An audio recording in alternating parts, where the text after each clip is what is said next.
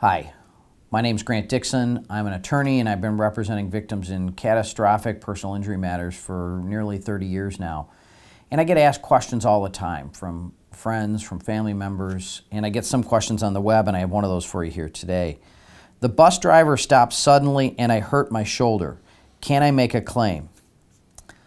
Anybody who's ridden public transportation uh, understands that sometimes bus drivers are not particularly careful about how they drive. And occasionally they do make sudden stops. And if you've been injured in a sudden stop, it's important that you get the medical treatment you need right away. Make sure that the bus driver knows that you've been hurt. And yes, you may be entitled to compensation as a result of that injury. It's going to depend on the facts of the case. Why did the bus driver stop suddenly? How did it occur? And what other factors played into the decision of that bus driver to stop suddenly? At Dixon Law Office, we've been evaluating bus injury claims for almost 20 years now, and we can help you, but you need to reach out to us first. Our phone number is 888 354 9880 or chat with a team member 24 7 on the web at attorneysmakingitright.com.